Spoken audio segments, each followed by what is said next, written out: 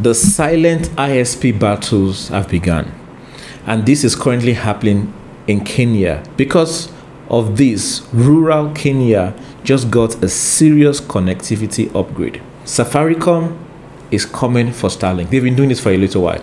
They are rolling out dozens of new 5G sites in towns that were never on Safaricom's broadband map before.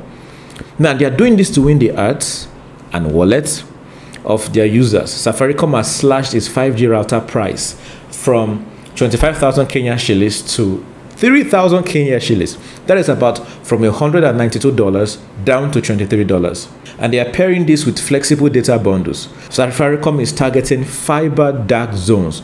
These are areas that Starlink first found traction. Now, remember this Starlink only entered Kenya in 2023, and now they are already ranked number seven amongst the highest speeds with 19,000 plus rural subscribers. That is massive. But while Starlink worked on extra ground stations to beat congestion, Safaricom is leaning on its familiar mo- uh, mobile network, lower hardware cost, and pay as you go model. Now, this pay as you go culture is done to reclaim up country users. Wow. Now, the battle is on. Safaricom, satellite speed versus homegrown 5G affordability.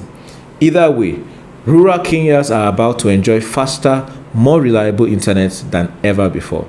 And that is a win for everyone. And that's what I think. This is a situation where competition is a very good thing. If Starlink never entered Kenya, maybe existing telcos would have just been relaxing and doing what they do best, which is not caring. And not caring about improving the, the quality of service, and the service delivery. This competition is a good thing. The fact that Safaricom is making these changes is because Starlink is giving them a run for their money. Let me know what you think about this. Follow for more optimistic African tech stories.